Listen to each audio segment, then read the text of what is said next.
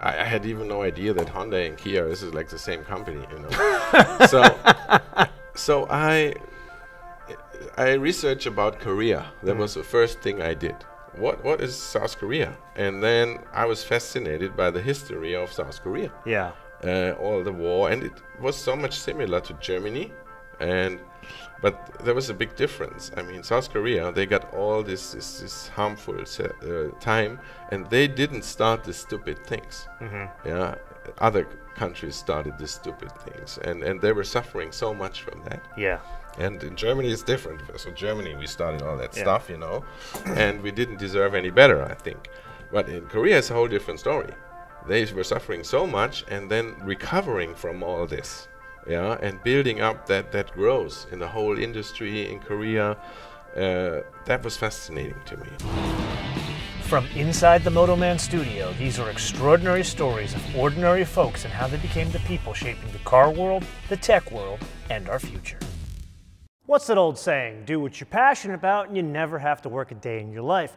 Well, for most of us, our passions, we don't know exactly where they started, which means we don't understand them as much, and the likelihood of them turning into our career is kind of slim to none. Then there's a small subset of us that were lucky enough to have our passions, at least the seeds of them, born into our lives by someone important in our past, like our father, mother, sister, brother, somebody like that. And then of those people, there's a further subset that are lucky enough to draw a direct line from their passions back in the day, early on in life, to what they are doing today. That is the story of Albert Biermann, my guest, that you know him very well because he's had a hand in developing virtually every BMW M car, both for the street and the racetrack, for a 30 year period. Now he's running all of engineering for the fifth largest car company in the world. But what's most interesting is these two multinational car companies, he brings them back to what could only be termed as a tribal ritual that he shared with his father in Germany 45 years ago. How does a guy, or really a kid, from the metropolis, the thriving metropolis of Ostereyden, grow up one day and run performance cars for one of the top five car companies in the world? Yeah, Where do we start? yeah. I can start maybe with my uh, hometown and uh, the business of my parents. Yeah. my parents uh, at that time and the family still has uh, a trucking business, logistics, so big trucks. So, like And- semis. Yeah, really big trucks. And I basically grew up in the workshop, in the truck workshop. And uh, yeah, every day, like in there, was kind of my playground. Of course, playing soccer, going out in the forest. But you know, then when I got older, I mean, helping out on the Saturdays when all the trucks come in and so on. Yeah, repairing trucks, but then also very early I started on my own machinery, like a bicycle, and then I had a motorbike, and then I built my first car. So, what were you excited about? Were you excited about the, a vehicle or just the, the, the, the mechanical part, the engineering part? No, it was um, more the racing. I mean, the engineering was just uh, the necessity to repair my, my bike. I, I killed bike tires all the time, bicycle tires. And the thing that brought me really into uh, this high performance and motorsport, first of all, uh, my father, he was one of those early BMW new generation uh, customers. So, right after the Quandts took over BMW in 59. Yeah, he, he bought uh, his first BMW was a 1500 and then an 1800 and a 2000. So, this is way back. Yeah, this was in the early 60s. And my dad, he was a race fan. So every year, two times, three times, he drove to the Nürburgring to watch races. But mom, he, she stayed at home. I mean, so it was just my dad and uh, my two brothers and myself, and I was the youngest. Oh, I, th- I remember 65, I was in Nürburgring. I mean, I saw the, uh, the the old Formula One racers, Jack Brabham, Denny Hulme, those cars, those guys. Then the later the sports prototypes, Joachim Bonnier, and so on. So I had a whole bunch of these uh, race programs with tons of autographs. My uh, dad, uh, he, since he had this trucking business, he uh, was a good customer of Continental Tires. At the end of pit lane, there was a Conti Tower at that time, at the, the good old Nürburgring. There was no Grand Prix track at that time, just the good Nordschleife. Mm. and Southschleife still exists a little bit of it. So, and to go to the Conti Tower, he got always free tickets from Conti. You could choose a way through the paddock. You didn't have to do necessarily, but he always picked the route. So we showed the Conti Tower cards, and they led us into the paddock. And then we walk around in the in the old paddock of Nürburgring. Yeah. This is a historic site now. Later, I worked my own race car in the same garages where I was watching the, the guys. Like Literally come full circle. my father Really? already he passed already away when I was 15. Oh, so you lost yeah. him young. Yeah, yeah. And also my brothers, they never were allowed to drive when we went to Nürburgring. So where did you make the shift from being a spectator at Nürburgring to I want to make I want to get some interest in cars myself? When did that happen? Yeah, I started when I was 16 to be a rally co-pilot. Uh, so my oldest brother drove, but it didn't work out. I Wait a minute. How I- does a 16 year old even figure out how to get into rally? Like even know what rally is? Oh, the other brother already was a co-pilot in rally. My my uh, oldest brother, he he So did you were the rallies. youngest? I was the youngest. Yeah, Of three. yeah, So these guys are kind of leading you down the path of getting into rally. Yeah. Rally was the start, just the starting point. Mm. But uh, the co-pilot didn't work, so I had to wait two more years before I could make my driving license. When I was 17, I bought a a, a wrecked Beetle, and it took me one year to build it up, to repair everything. I put a roll cage inside, the Recaro seats, and everything. Recaro seats into a Beetle. Yeah, and then I started. Uh, it was a six volt Beetle, 40 horsepower, and then I started doing uh, rally driving myself.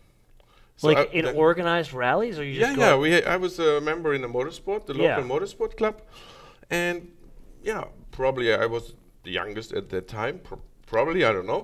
My co-driver, he was uh, even two years younger than me, and he didn't get C6, so we, we were a good team. And on the weekends, we were running through the forest of the Sauerland in the, in the, and doing all this crazy rally driving. But it was more to figure out the, the right route. Yeah. And of course, speed was involved, officially not. And yeah, this was when I made my first experience. And at the same time, Yeah, but how much speed are you getting out of a, a, a 40 horsepower Beetle? At that? oh, that depends. It was good for 130, 140, downhill 150. yeah. So ki- kilo, kilometers per hour. Now hold on, I'm gonna stop you there. For, so your mother not even has an issue with this. She's like, yeah, go on, kids rallying, not a problem. No, my mom was fine, no problem. She probably had uh, the confidence that Because she's seen your brothers do it, and your dad was into these things as well. Yeah, my dad not like doing motorsport. My but my two brothers also they did some autocross. Yeah. And Were so they on. in Beetles as well? Um, the, yeah, the other one had a the, uh, S Beetle with 50 horsepower already. Oh, so he had the performance car. yeah, yeah. But my oldest brother he first started on an Opel only for one year, and then he got into the BMW. So highly tuned 2002 BMWs. I'm seeing the BMW as a major family theme for you. We'll get to that later, but it's definitely a theme. Yeah, I mean when my father passed away. He, he couldn't take me to Nürburgring anymore. More, but at that time, my brother already, the oldest brother, had his uh, highly tuned BMWs, and I was washing these BMWs for weeks. That he takes me Yeah. to the Nürburgring, and not only his girlfriend. So So this was from five years old. Nurburgring in the summer was a family tradition. It was a f- family rite of passage mm, yeah, up until you were what, 20? yeah, yeah, math correct. kind of. Yeah, then friends joined, my brother's friends, my friends. When I Yeah. get the driving license, I started my own Nürburgring parties. So we were like sometimes 20 people, campfire, like two meters high, drinking tons of tons of beer, you know, and making parties in the Nürburgring. That that has a tradition in Nürburgring. Uh, to go there, having party, watch racing. See that that is amazing. Like my, I lost my dad when I was young as well, and there were traditions that he did with me, and then it took me a while because he was I was nine when he died. He died, but it took me a while to take those traditions and make them my own later on in life. It took me into my twenties. So I take my hat off to you. You actually you actually literally continued that all the way through. Yeah, we did it much more excessive than my dad. I mean, he just he just went he went there Sunday morning, coming back Sunday night.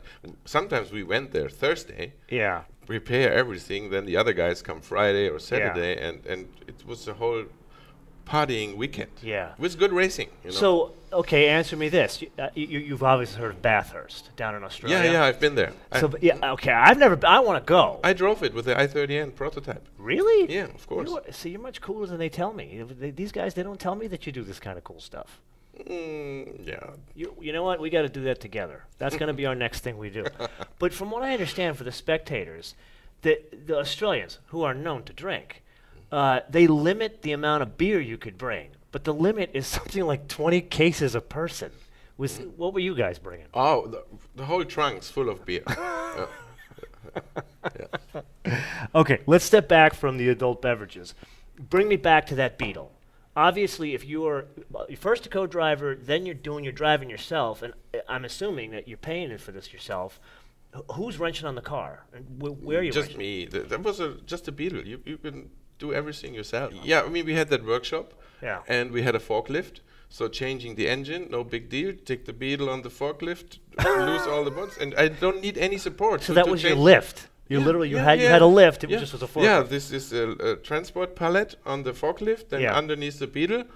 The first you lose all the bolts and nuts and stuff. Yeah. And then you just put a big oil can underneath the engine. You lift the Beetle, one pull, and you have the engine there. So you weren't just engineering the car, wrenching on the car. You were engineering processes. I mean, the, you have no other choice. If you have to fix your engine because you killed it, you have to replace it, right? And did you use this car as a daily as well? Was yes, This, oh, yeah, yeah, so this was course. everything. Winter, summer. This was Yeah, yeah. rally. This was everything. Yeah, of course. That was my car, but not for long. And did your bro- did your brothers teach you any of this, or did you learn all this on your own? No, just I mean, I grew up in that workshop, and of course, then, but I helped the uh, the people working in the workshop when they fixed their own cars. They had Beetles, so I, I already knew how to fix a Beetle. So from five, you were working on that shop. Yeah, with five, more or less fixing my bicycle, uh, and then, and- and- yeah, and yeah, I spent a lot of time in that workshop. Okay. So now, what are you? So we're we're in your early twenties at this point. You're rallying. What what happens now? Are You're meeting girls. Are you focusing on girls? getting rid of the rallying, or what, what's Uh, uh, happening? girls, girls were there all the time, but there were Really? times when cars just had higher priorities. yeah, and I was playing soccer, but also only until I started building my Beetle. Then I Yeah. stopped playing soccer. And when there was a race in Nürburgring, and then I had to go to Nürburgring if I had the chance to join my brother or my dad. Yeah. And then the coach of soccer was always like upset. Hey, you are part of the team. You cannot go just to Nürburgring. You have to play soccer. But th- I mean, there was no discussion. I was just gone. I, Nürburgring was much more important for me than playing soccer yeah. from the beginning.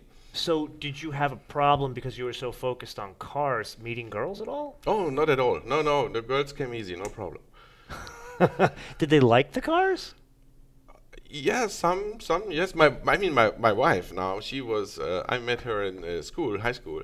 She, she likes cars. She drove my Beetle when we, when I go to autocross. Yeah. Then she took my car. I also did the run around the cones, autocross, and then she several times she won the the the the, the, the golden cookie plates or something for the, the the women's category. So she was also a good driver.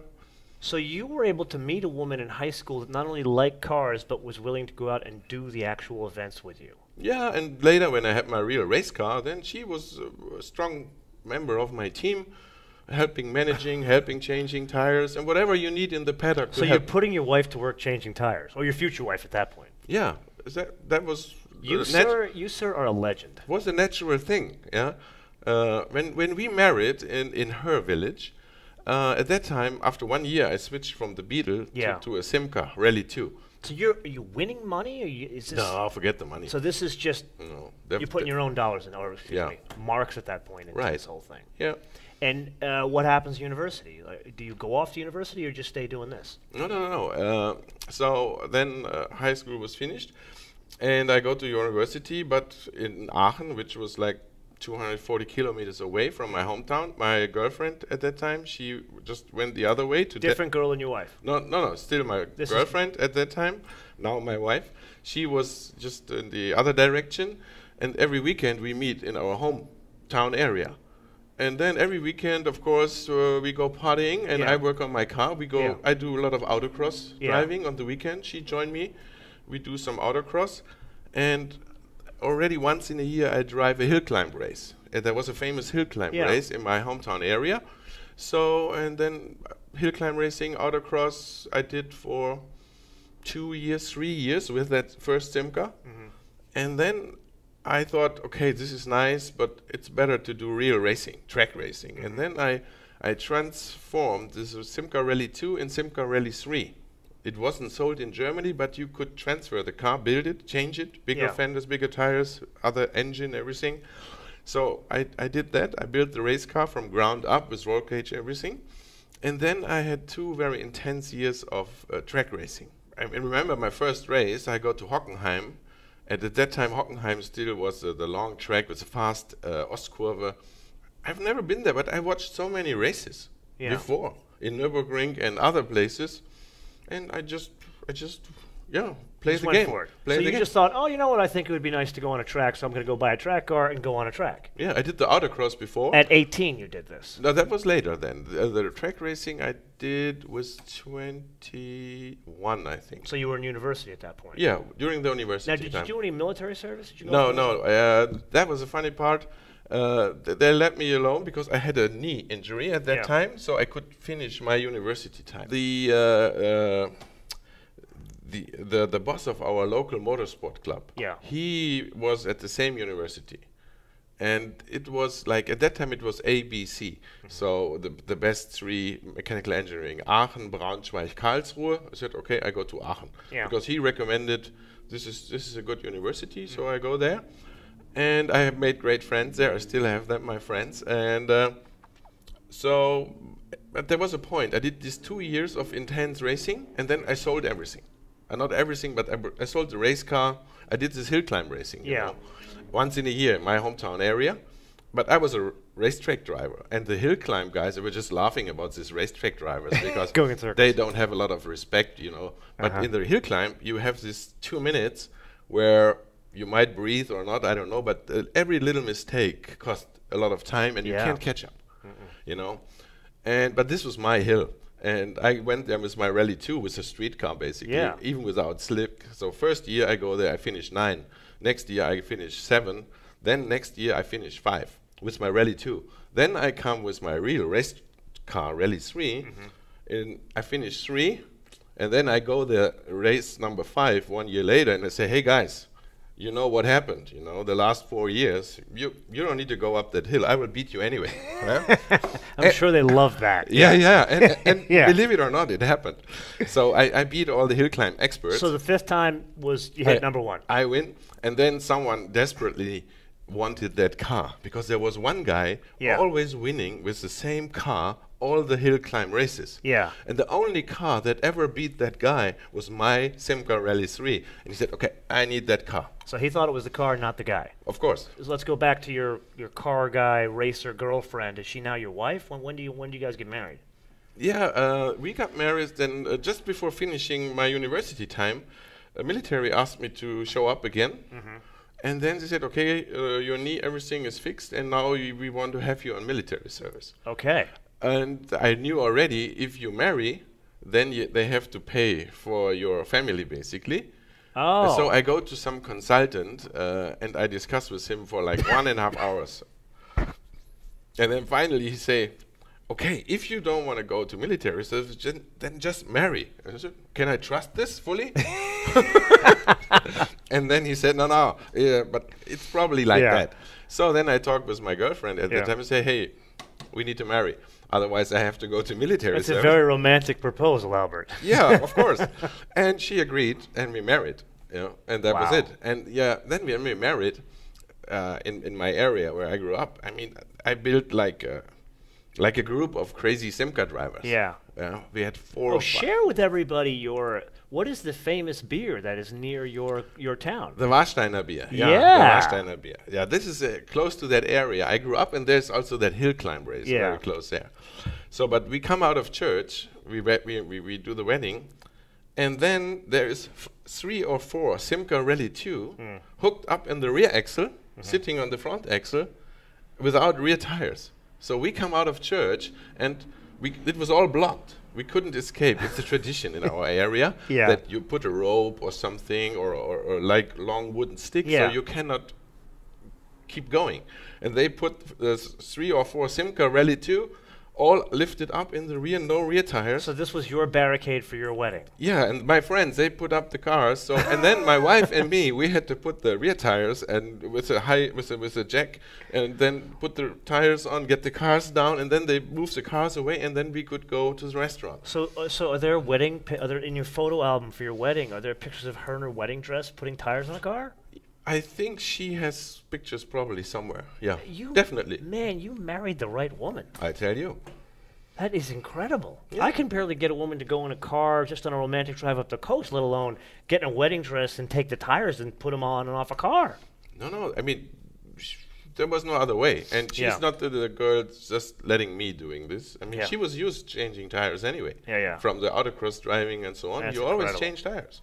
Okay, so now you're you're you've sold your cars. You're you're you're an adult. You're married now. You're out of university. What happens? Yeah. Then university was finished, and And no military. So you didn't do the military. No military. Yeah, and then uh, I hired in BMW. so they came a calling. No internship before that. You did No, no, that- summers. No, that was anyway strange. There was a crisis, economic uh, crisis in Germany, and my wife, she had a good job in Cologne as an interior designer.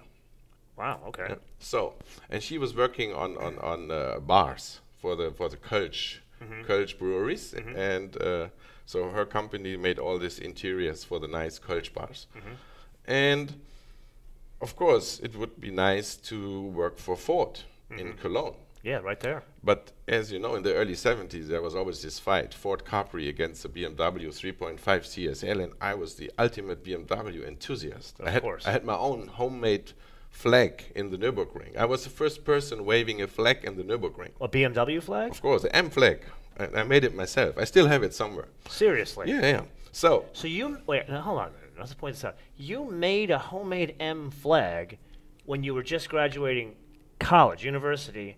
You later end up running that. No, at that division. time, at that time I was uh, 15 or 16. That was in Even- sev- it with makes an even more with- interesting story. With 16, uh, that was 73. I know like yesterday. And you got it. You had it figured out at 15 years old. Anyway, okay. So she's working in Cologne, and you are a BMW guy. So what happened? Yeah, so and then I of course I, I sent my resume to Ford and Opel and other companies close by, but there was a crisis and no company was hiring. Yeah. The only company hiring was BMW. Terrible So- for you. So and my wife fully understood the situation and Yeah. agree, okay, you go south, you go Yeah. to Munich. But it's also a great city to live in. Yeah, yeah, and six months later, after the, the, the test period, then, Mm-hmm. okay, she also come to Munich. What was your first job there? What was the first role? I was a chassis testing engineer. So what were you doing? Were you driving just BMWs or competitive cars? No, in the first seven months or so, I was working on steering systems, mm-hmm. sensitivity of rack and pinion mm-hmm. steering, shimmy and these things. And then s- in the neighbor group, someone went to other company or so, and they needed someone in the, the shock absorber mm-hmm. suspension group. And then I moved there, and that was much more entertaining. So I was in the group who does all the chassis tuning, absorber, spring And was this chassis tuning for a specific line of car or for all BMWs? all, all at that time BMW was a small company. That that Yeah. group did all the chassis tunings on all BMWs. So you're in your early 20s and you're working on what would become the well actually if it's 83 there was already a 6 series, there was a 7 series. It was a ma- the product line had matured at that point. My first Nordschleifen tuning I did with uh, E24 uh, when it shifted to pressurized gas shock absorbers. So that was my first Nürburgring tuning, and I think my first tuning or second tuning was the first M Technic suspension Yeah. on E30 You're with, kidding with. Bilstein. That was my first tuning down in Italy in Bari. For the first time when you're at when you're at the Nürburgring on BMW's payroll and you're testing cars, did you stop and think I used to be here with a homemade flag with my dad? Yeah, but before I drove the Nordschleife uh, Yeah. many times with race cars, and when I had a new car, I took it to the Nürburgring for a few laps to see Yeah. how it is doing. So Nürburgring Nordschleife, I was very familiar with already. So it was not that. so it wasn't a special moment. No, it wasn't. I mean, it was a special moment because this E24, there are three, four areas where it fully Yeah. took off all the time. And so, uh, and and then I was uh, the young engineer in the group. Point. I think it all came together. You know, when you at that time when you go to Italy and you do a chassis tuning in Italy, you need all the custom stuff. You need uh, spare parts. You need technicians. Everything. You need to organize everything. Hotels. It was so much the same like my racing. When I did the racing, I went to Netherlands, Belgium, and so on Yeah.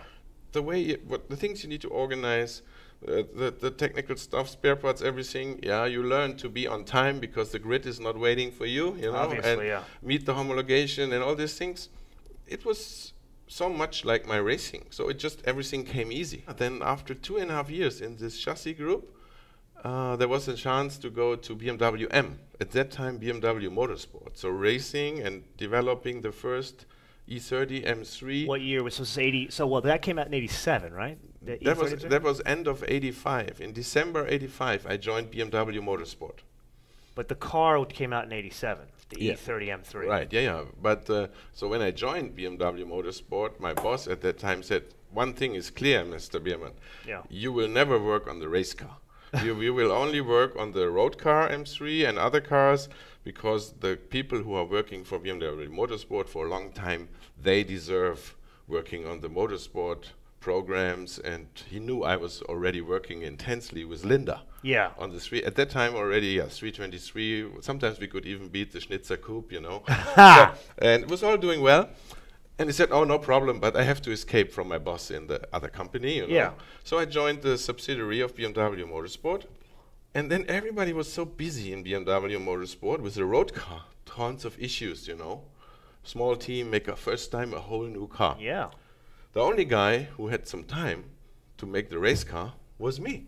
so more or less accidentally, I all of a sudden I was in charge of the E E30 M3 Group A race car development. Not everything, no- Yeah. no, powertrain. Yeah. So engine was in the engine department. Yeah. But basically everything else today, probably they would call such person a project lead Yeah. uh, and test engineer, but nobody had the time. So I was just doing almost everything every night. My bosses come to the workshop. I had uh, two technicians on the car and the Yeah. workshop manager. And at that time, there was no CAD. Yeah.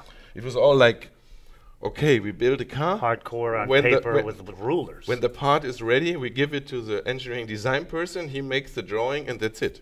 So, and it took a year to develop that first so, you what are you, 25, 26 at this point? No, in that at that time I was already 29.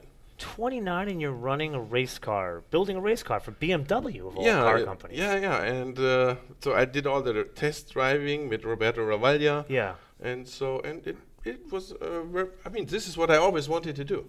But you got there at 29. I mean, think about this. Mm-hmm. By 87, BMW was BMW. Like what what we know BMW today, or really its its its reputation, it was already cemented by 87, and you're already you're 29, not even 30, working on race cars. That's incredible. Yeah, but that was always my script uh, in, in '73 when I was there with my flag and so on. Yeah. And uh, Neerpasch was there. Yeah, and uh, I was thinking, okay, this was w- what Jochen Neerpasch is doing there. Yeah. This this is what I want to do in the future. So you knew this was it wasn't like you just kind of fell into it. It was by design. I'm going to become an engineer. I'm going to go back into the racing world, and I'm going to build race cars. Yeah, that, was, the plan. That was the plan. And I had that plan when I was 15, 16 years old. Uh, also working as a designer in certain areas, a whole roll cage concept, fuel system, and so on. There was nobody there. There were no. e- We didn't have many engineers for the race car. You just did what so with do. the workshop and so, and we, we, we built that car basically from the workshop. And later, then we got one professional engineering designer for motorsport. but a, a little bit later, all the other things, the engineering designer did it as a as a job on top in the evening. Yeah. So it worked very well. That car still today probably is the most successful uh, touring car of all times. That racing was not so easy. Mm. You know, it, we were very successful, uh, but there was a little bit of drama with regulations and so on. And my bosses, yeah, not fully happy, and always we had uh, reporting. And I mean, in the European Championship, I was in charge in '87. We, we win everything, so that was easy. Then my old boss in uh, chassis development, Yeah. uh, he offered me a job to become a team leader. I was still regular engineer in Back at Olympia Centrum, at Right. Petuelring 130. Yeah, right. Okay. So at that time it was close to FIZ in the Hufelandstraße. Oh yeah, yeah, just north. So he offered me the job and said, "Oh, okay. After two years of having this fun, maybe it's also time Yeah. to think about family, slow down a little bit. I mean, I, I was working like maniac. I had eight weeks without a free day or so at that time in Yeah. motorsport. So and then okay, I go back to chassis development and become team leader in this chassis area where I worked before. And yeah, then it was time to settle down a little bit, start family. We got a son and a daughter, and I did this I think for seven years. Then was I was in charge of this uh, suspension the team, and then I got the control shock absorber team integrated, and there was a For all car lines, or every- just everything. So again, back yeah. to all BMWs. Yeah, and then I could integrate the uh, advanced development team Yeah. also and the laboratory. So I had a really a powerhouse. Yeah. Yeah, it was very strong. My team at that time. And, this is when BMW is really growing volume too, because you're getting into the mid early early to mid 90s at this point. Yeah, that was then '94. I moved to BMW North America. Mm-hmm. Yeah, there. Oh, New Jersey, Yeah, right. across the river from me. Yeah, we uh, we had a task force at that time in the early '90s. Business was really going down. I mean, Lexus coming, Infiniti coming. I remember. And so big drama in BMW, and then like typical situation, salespeople say, "Ah, the product is not good enough. We cannot sell." Yeah. It's it's, it's a normal thing. It's always Yeah. like that. It was a very You good. would think they wouldn't say that at BMW though. no, no, no. It was the same thing. At that time, I didn't know. Yeah. So uh, we, I make. Uh, we had this task force. My boss said, "Okay, you please manage everything." And so I organized visiting, going through the U.S. four or five different places, and meeting people, customers, dealers, and so on. And that was the first time I was in the U.S. And at that time, the boss of after sales, Hans Dünzel in uh, BMW, I liked him a lot. Mm-hmm. Like wearing guy, you know, and not like talking so much bullshit, just straight. Yeah. Here we go. And I knew him, and since this task force, it was 92 maybe. So we always had the contact. Every time he came to Munich, I showed Mm. him the latest and greatest cars and tunings and how do we do for the US and Yeah. so on. Was almost an informal thing. And then at some time there was a job available. The person who did the local development, he went back to Germany and then he just called and say, "Hey, I, I, I need a guy here. What about coming over?" So I checked with my family, Yeah. and then okay, yeah, here we go. So we go to New Jersey. across the river to the Jersey side. Yeah, together with the kids. They were Okay. three and a half and five years old at that time, Okay. and it was a fantastic experience. Okay, so now you move to the U.S. Now I, I did this in reverse. I li- you know I, I lived in Germany. You and I worked together for six months. Do you realize this in 1992?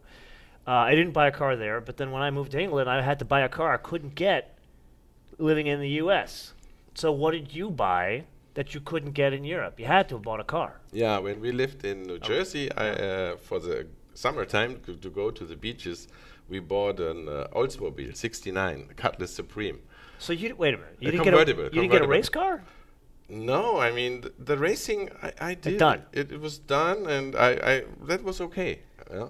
I love that. you- So not even a 442. It's just a No, it- regular. It, was a Cutlass Supreme. regular, but I, I, I, I made it into two. So I changed the rear bumper. Yeah. And I had an exhaust uh, builder making the 442 exhaust system. Yeah. But the first thing I, is I changed the shock absorbers.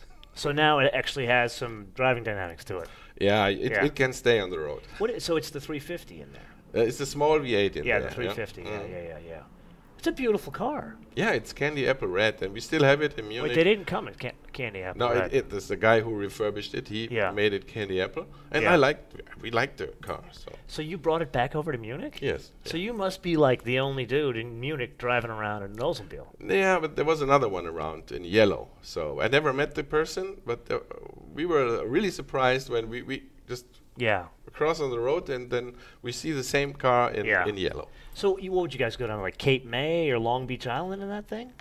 Yeah, we went to the New Jersey beaches uh, Yeah. on the summertime, and the kids liked it so much, and Okay. they said, "No, I wanted to sell it."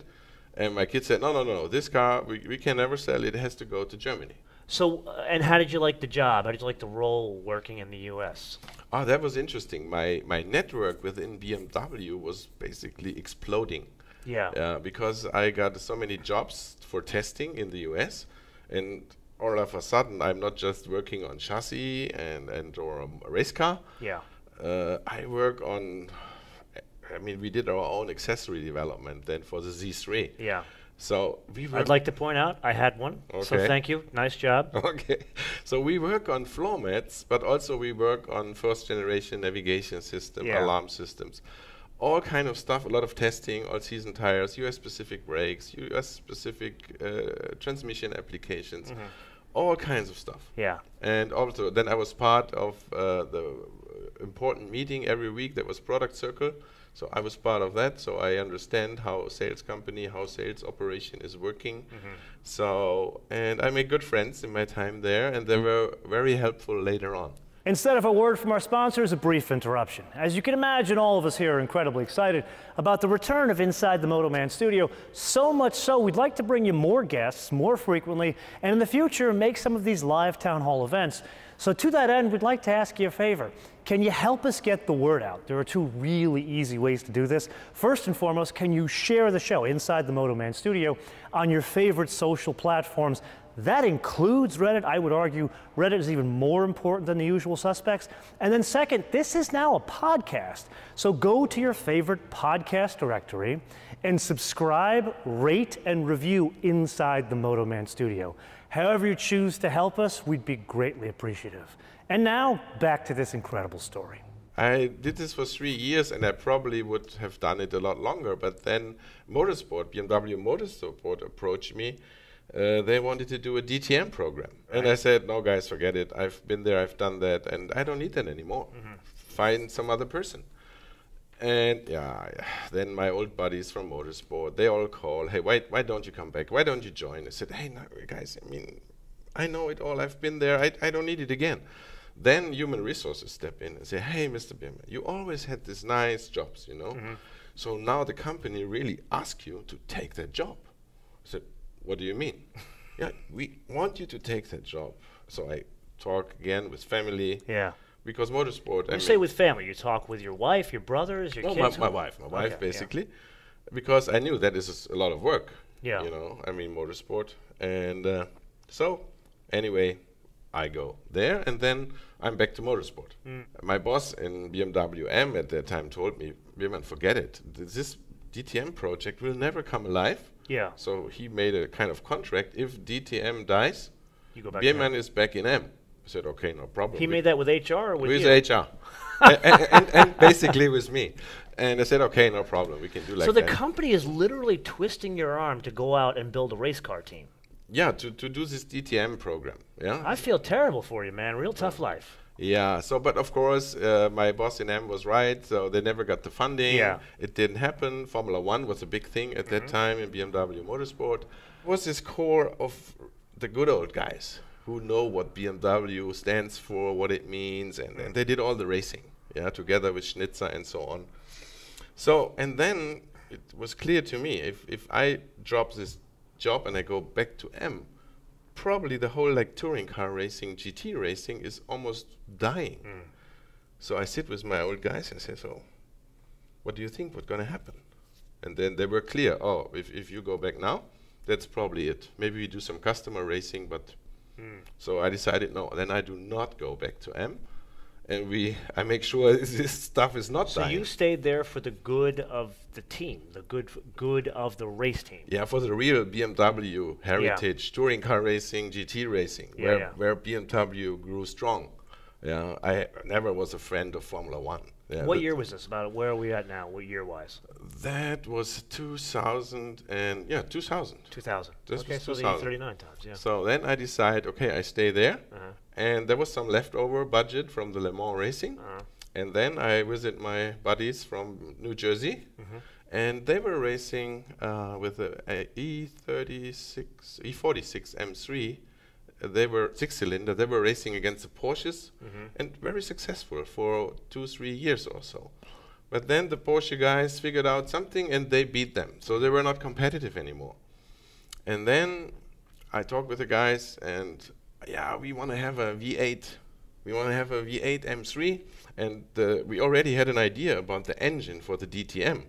And we said, okay, when we make the, the script for that engine, it should be capable for DTM regulations, but also then good for this to beat the Porsches in the US. But Okay. DTM was still on the list somewhere. But Yeah. so then BMW North America agree. So we had a breakfast meeting. My boss, Mr. Tyson, and Tom Purves at that time, and I make a six pager Yeah. and uh, so the and then just saying the Porsche killer. Yeah. so and and by the way, we need five million dollar. and, and by the way, we, we cannot make the first two races, but we will win the championship. Yeah. And he looked at me like, Great idea. this guy must be fully crazy. But he trusted somehow, Yeah. and we started the project. And then we developed the M3 race car with the V8, brand new V8 engine. Yeah. Yeah. And later, as a very similar engine went into production for Yeah. the uh, uh, E90 M3. Yeah. But at that time, regulation for American Le Mans racing only required one road car. Yeah. So we also developed the road car with the V8 engine. Of course you did. So we do racing, uh, we beat the Porsches, and we win all the championships, and Yeah. that was Does that time. Uh, correct me if I'm wrong here, but five million dollars to do all that sounds cheap. Oh know we had yeah, we had some money still from the Le Mans project. Oh, so you had a little bit of budget left. How yeah. like how much would it cost to do that same thing today? Oh, probably four times the number of people and probably three times the time. We did this in less than six months, and I started with 37 people. And only with five million dollars. No, we had, we had, the we had a little bit more money. I I can't tell you exactly how much money it was, but it would probably today cost at least five times the money. So where along the way have you learned the business side? You were an engineer, but where have you? Because obviously you're knowing business at this point, because you're you're lead of whole products at this point. I I wouldn't call it business. Uh, you have an idea, Yeah. you want to get this going, and then you talk with friends, and then you get things going. and there was a big money spending in Formula One, and we won in 2003. We won the championship, European Championship for manufacturers. And there was not even the budget to print some posters, you know. A- a- a- a- and the money was just burning in Formula One, you know. Yeah. And I was thinking maybe this is not the right place for me anymore. Yeah. I, I don't want to retire on this job. So that was the first time when I went to HR or the boss of R&D and I said, "Hey, I, ne- I need a new job." That was the only time in my Wow. career. All the time before, someone asked me Came to you. join. But that time I said, "Okay, this is nice, and I think I did my job here." But I, I need to do some different job for the Mm. future. I can't do this until I retire. After almost 10 years being in uh, North America, being in M, being in motorsport, everything out of core of R&D, Mm-hmm. I come back to R&D. And I became the overall project leader of second generation BMW X5. And then doing that, uh, there was a change in management in BMW M, Mm-hmm. and he asked me to join and become So now, hold on, let's not gloss over the second gen I- X5. This is, if I'm getting this all correct, this is your first mature business because you guys, well, not you guys, but BMW, they sold 700,000 of those, of that second generation car. Yeah, the E70 was quite successful car. Very successful. And for me, it was very interesting experience. We had the factory in the US. Yeah. and you, uh, as a project leader, you are probably you're involved in every part of that project. Mm. Uh, all the financial discussions, uh, sales uh, stuff, the production, and of course engineering. But then I got the call, and yeah, I, I went to a BMW M again, and then Of beca-. I became boss of R and D of M. So th- the call was, forget about these other jobs. Now you're the boss. Yeah, Now, now you completely control R and D. You control the direction. yeah, but just for M, I understand, but Mm. You're coming back now a third time to M. right? But now you, this is your vision, your show. But it was not so easy, you know. There was a lot of trouble. The board couldn't accept anymore all the money spending for Yeah. the specific engine programs and so on and so on. But the biggest challenge was to shift the whole BMW M from natural aspirated to turbo. Yeah. That was very challenging because many people didn't want to go there. Was that your decision or was that BMW corporate? That was a headquarter decision. Because of fuel economy or taxation? What? Ah, I think they were just tired of spending all the money all the time, and many things had been promised about uh, the, the specific M engines, but some part of it probably really never Is happened. turbocharging cheaper to develop? Uh, th- those engines were more based on the normal engine. We didn't develop like whole new Oh, engines, I understand. and there was a lot of synergy. ich verstehe Yeah. Sie, The, the way we, we developed those engines from the very beginning, we worked together with the base engine development, and we tried to arrange this with a lot of synergies, but still good performance. And I mean, the, the first turbo, the V8 turbo M5, I mean, that thing had power like crazy. Three things you wanted to bring to M. What were three specific things you wanted to do at M? Put aside turbocharging.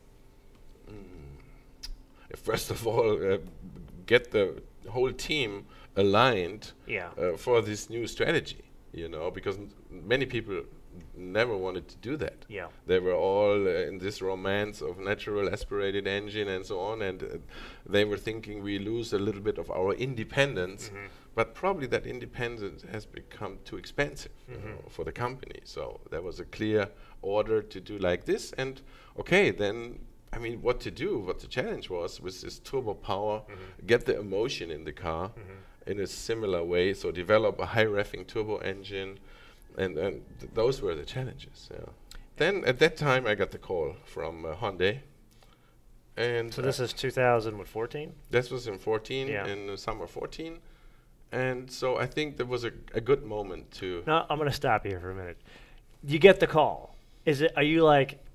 You thinking this is one of your friends pulling a joke on you? It's like Hyundai, like that old commercial. Hyundai hat gewonnen. Hyundai hat gewonnen. I don't know that one.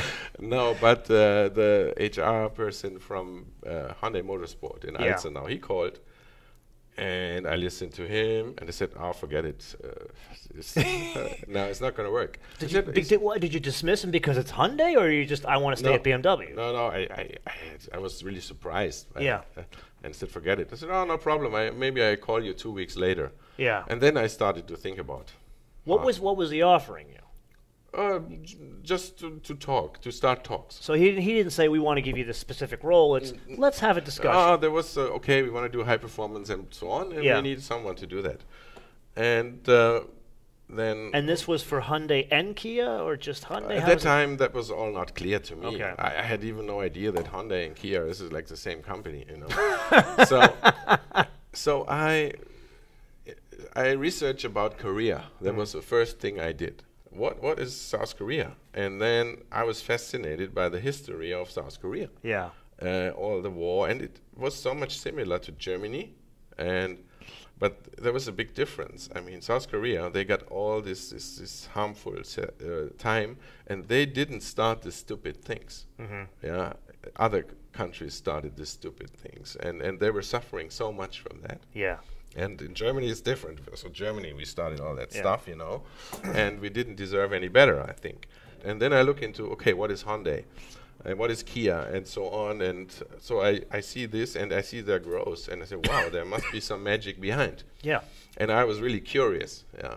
And I mean, there was already for two, three years, I was thinking, we are here in good old Europe, but there's so much pace in other places, Yeah. in Japan, in Korea, and so on. And it's almost kind of boring. And uh, I already had talks with HR at that time. I, I finished the next M5, and then I retire. And th- that would have been end of last year. And uh, that was my plan, because it wasn't so exciting. But what are you going to do when you retire? I had no idea. And then Dr. Kwon, uh, basically the person who hired me, uh, he came to Munich. We met in a hotel, and he explained to me, and I tell him about my story and what I did and so on. And then he said, "Ah, yeah, maybe you can do not only high performance, maybe you can also do uh, the other car uh, test division and so on." Uh, with all your experience, it could be very helpful.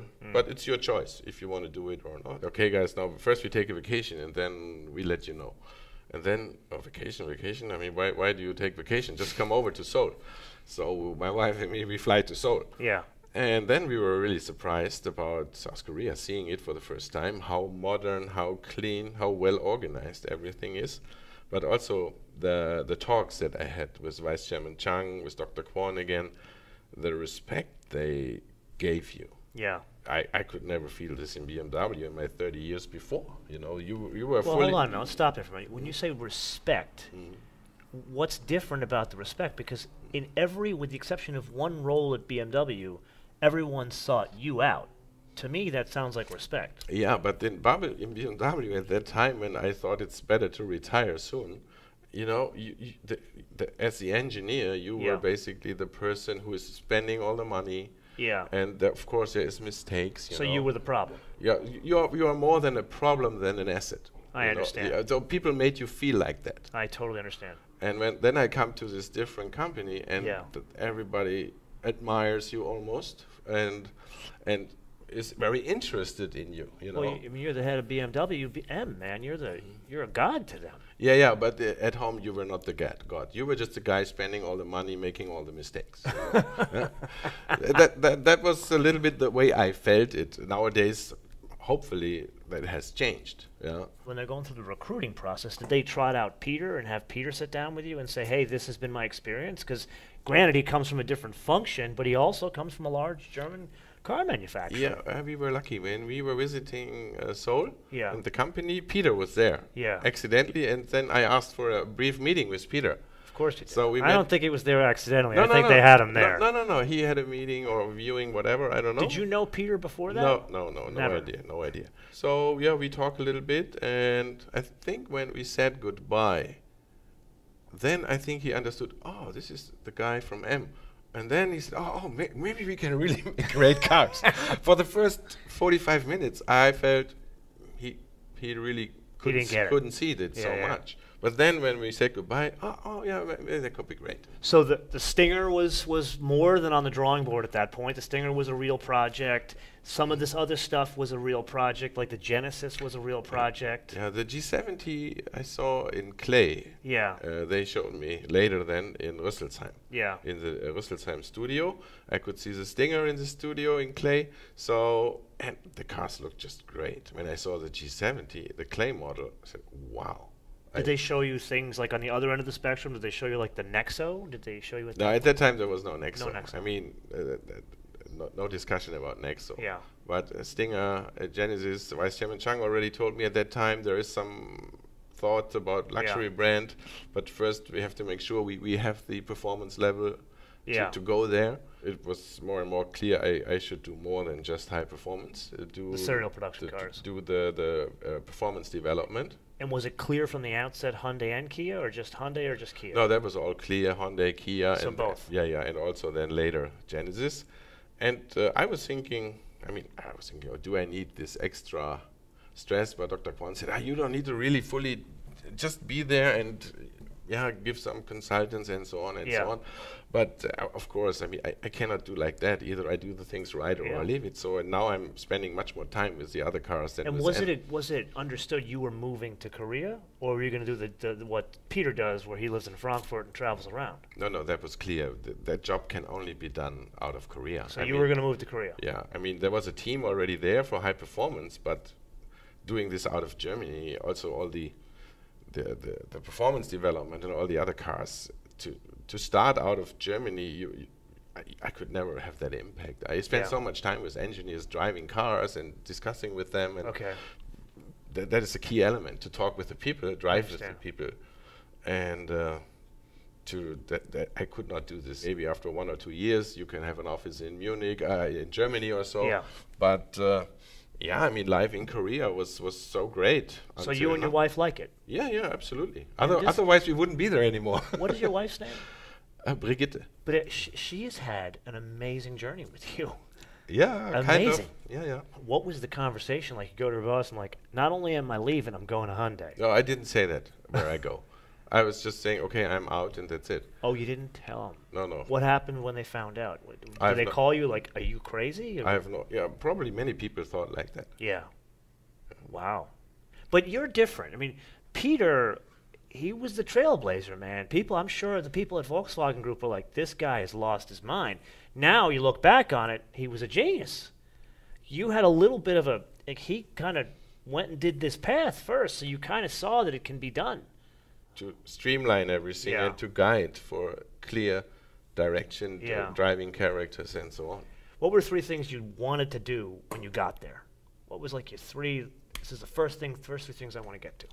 First, to understand this new company. Yeah. Yeah, no, I had no no clue, and uh, still today I don't understand every aspect of, of our operations. I mean, it's a huge company. Yeah. It's also a completely different culture. So that that was definitely challenging, and yeah, then of course bring this this high performance thing alive, and uh, then I was also clear we need a team in Germany to do all this testing in Nürburgring. That was clear to me. A high performance car you you do in Nürburgring and no other place, and so to build that team up and I think it's funny. Here we are now, what, 40 years later, from when you built that f- or made that flag yourself. 40 years later, and you're still focused on the Nürburgring, and you live halfway across the world. Yeah, but that, that is a place where you make such cars. Let's assume I, I don't know what the Nürburgring is. Why is it the place that you make such cars? That's the best road on the world without oncoming traffic. That's a very fair point. Okay, so this is a hell of a story. The journey you have traveled. But now we're at the point where you are in your current role, you are running performance as well as really engineering for driving dynamics for two major car companies. Let's turn around, look back. And I would argue you've had, I like to use this term wealthy, and I don't mean money. Wealthy in terms of you've had people along the way that have guided you, your father, then your brothers took over that role, and then these people you raced with, then all these people at BMW that came out of the woodworks, hey Albert, come work for me here, come work for me there. What I what would you say are the three things in life, the three things that you are most grateful for that helped you get you to this point today? I think the most important thing is that uh, you do what you love to do. And I, when I had to decide for something, I always decided for my heart, mm. not so much for the brains. okay. I always decided wh where is the excitement, where is the new thing. Where is the new challenge. I, I think the one key element uh, in my whole life was to de always decide when I had the choice for for the unknown, for the new. Mm. Yeah, so where where you find a new challenge, mm. where you're not continuing with your routine like uh, when I go to the motorsport, when I go to US, and it was the same script now to go to Korea. When I stayed in BMW, I could write down what I would do until I retire. When I decided to go to Korea, I had no idea what would happen in Korea, mm. and that was a fascinating thing. And I, whenever I had the choice, I decided by my heart for the new, for the unknown, and not so much with the brain calculating about, ah, oh, what is the risk, what can go wrong. Yeah. I don't care for that so much. Okay. Uh, things will, will go the right way anyway. Yeah? so I'm very confident always that things will be okay. Okay. And uh, so I basically made my hobby into my job. Okay. And then things come easy. Yeah, of course, it's not always just fun. There mm. are days when you're just stressed and you don't know how to fix things. Mm but still, there's always the good part. And in working with people, driving cars, and talk about cars, that is always when I think people can be really strong. I've been doing fooling around with politics and so on. Mm. This is not what I love to do. Mm -hmm. uh, I'm rather work with engineers, make a good car, mm. make the right procedures more efficient, make the right structure that people can collaborate nicely, yeah, and effective. I think those things and uh, to bring the people together. I think that especially when you make high performance car, that's a key thing. You have to have the people together. You have to discuss about what you experience mm. in the car to guide them, and then things can happen. Do you think what you your journey that we've just covered? Do you think the same thing could happen in today's environment of a car company and the car world, or really any corporate world for that matter?